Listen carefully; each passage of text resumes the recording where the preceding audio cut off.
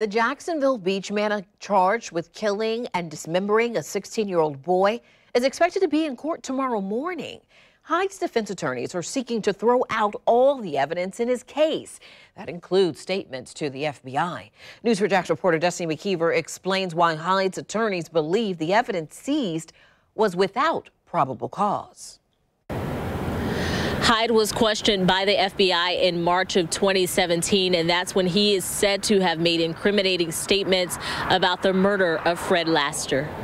The issue for the defense is statements made to the FBI while Hyde was waiting on an attorney. According to a transcript, as the FBI questioned Hyde, he said the entire family, I guess, knows that his body has been found. He's dead.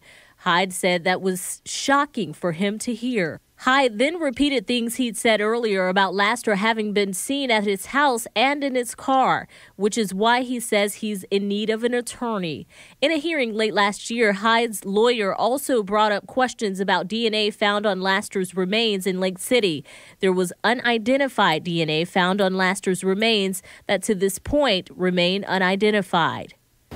And at the hearing, prosecutors questioned other alleged victims of Hyde's. Reporting, I'm Destiny McKeever, Channel 4, the local station.